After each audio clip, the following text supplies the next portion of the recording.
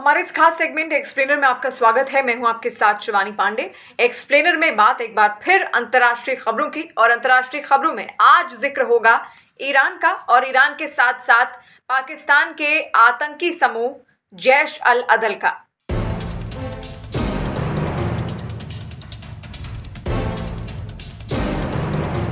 Iran का ज़िक्र किस लिए ज़रूरी है, हम आपको ज़रूर बताएँगे, लेकिन पहले आप ये वीडियो भी देखिए। ये दावोस का वीडियो है, जो कि दावोस से आया है, और दावोस में एक बैठक होनी थी, जिसमें ईरान के जो कार्यवाहक प्रधानमंत्री हैं, वो पहुँचते हैं, लेकिन मीडिया उनसे सवाल करने लगती है, जो हमला हुआ था ईरान की ओर से कल रात, यानी कि मंगलवार रात को, पाकिस्तान के एक आतंकी संगठन जैश अल अदल पर, उसको लेकर जैसे ही इनसे सवाल होते हैं, वो बचते हुए नज़र आते हैं, उनके जो सिक्योरिटी गार्ड्स हैं, वो मीडिया को पीछे करते हुए नज़र आते हैं और वहाँ से वो बचकर निकलते हुए साफ़ नज़र आ रहा है इस वीडियो में। बीते मंगलवार को ईरान की ओर से, ईरान के रेवोल्यूशनरी गार्ड्स की ओर से पाकिस्तान पर हमले किए जाते हैं और पाकिस्तान का ये जो इलाका था, ये था कु सब्ज का।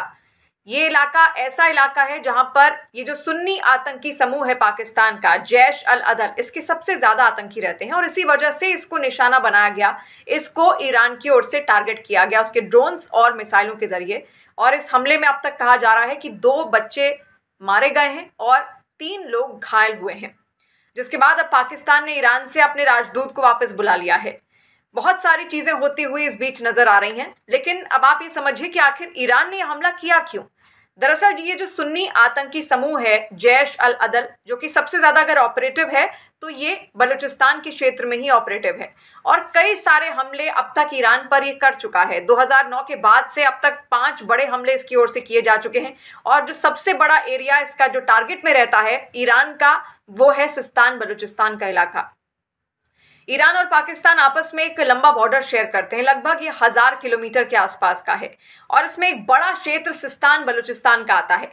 सिस्तान बलूचिस्तान का जो प्रांत है, वो आता है ईरान में और कहा जाता है कि यहाँ पर बहुत सारे ईरान के सुन्नी अल्पसंख्यक रहते हैं और ऐसे में ये पूरा जो इलाका है, शिया प्रभुत्व वाला है। तो शिया प्रभुत्व वाला इलाका होने की वजह से बहुत सारा भेदभाव भी इन सुन्नी अल्पसंख्यकों को यहाँ पर झेलना पड़ता है और इनकी प्रोटेक्शन करनी पड़ती है ईरान को।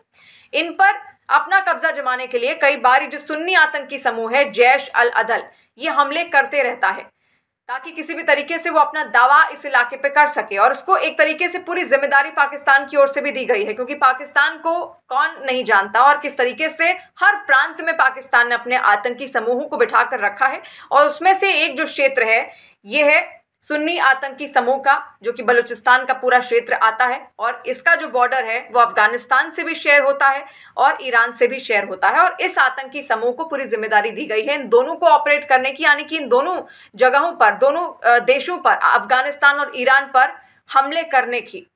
और कई सारे आतंकी हमले अब तक इसकी ओर से किए जा चुके हैं। पिछले महीने, यानी कि 2023 दिसंबर में एक आतंकी हमला किया गया था इसी आतंकी समूह की ओर से, जो कि ईरान के ही सिस्तान बलूचिस्तान इलाके में हुआ था। वहाँ पर बॉर्डर पर एक पुलिस चौकी तैनात थी और उसी पुलिस चौकी पर हमला कर दिया जाता है इस आतंकी समूह जैश अल अदल की ओर से, और उसमें ग्यारह ईरानी अधिकारी मारे गए थे। और इसी का बदला अब ईरान ने पाकिस्तान से लिया है, इस आतंकी समूह से लिया है, जिसका नाम है जैश अल अदल, क्योंकि ये आतंकी उसी के थे जिन्होंने ये हमला किया था ईरान पर, जिसमें 11 ईरानी अधिकारी मारे गए थे। इसी कारणवश ये हमला यहाँ पर हुआ है, लेकिन जैश अल अदल आखिर ये कब बना, ये कौन सा आतंकी समूह है, अब इसकी डिटेल्स आप समझ लीजिए। जैश अल अदल का मतलब होता है न्याय की सेना। और 2012 में इसकी स्थापना हुई थी, एक सुन्नी आतंकी गुट है, जो सबसे ज़्यादा अगर ऑपरेटिव है तो पाकिस्तान के सीमावर्ती इलाकों में। इसके कई सारे ठिकाने वहाँ पर मौजूद हैं, जहाँ पर हमला किया गया ईरान की ओर से, वहाँ पर भी इसके कई सारे आतंकी मौजूद थे और कई सारे ठिकाने वहाँ पर इस आतंकी समूह की ओर से बनाए गए थे। और अक्सर भिड़ंत होती रहती है इस आतंकी समूह की ईरान के साथ। और इसी वजह से बदला भी कई बार ईरान ले चुका है, लेकिन ये जो बदला है, ये बड़ा बदला था जिसमें कहा जा रहा है इस हमले में दो बच्चे मारे गए हैं और तीन लोग घायल भी हुए हैं। तो सीमावर्ती इलाकों में इसकी सबसे ज़्यादा मौजूदगी रहती है। और ईरान के जो गृह मंत्री अहमद वाहिदी हैं, उन्होंने हमले के लिए जैश अल अदल को ही उस वक्त जिम्मेदार ठहराया था, जब दिसंबर 2023 में इस आतंकी समूह की ओर से उसकी चौकियों पर हमले किए गए थे। और अब ये कहा जा रहा है कि इसी का बदला एक तरीके से ईरान यहाँ पर ले रहा है। तो आप समझ गए होंगे कि आखिर ईरान ने ये हमले क्यों किए।